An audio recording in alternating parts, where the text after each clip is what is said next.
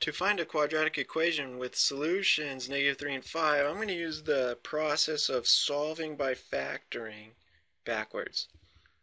Okay, so here's my two solutions, right? x could be equal to negative 3 or x could be equal to 5.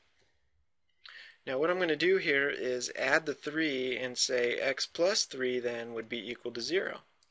If I subtract the 5, I'll have x minus 5 equal to 0.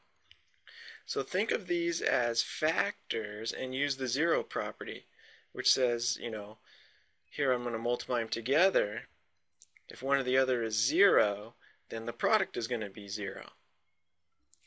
So now it's just left to distribute. So we have x squared minus 5x plus 3x, okay, minus 15. And then collecting up like terms, we have x squared minus 2x minus 15 equals 0. So this is a quadratic equation that has those two original negative 3 and 5 as solutions.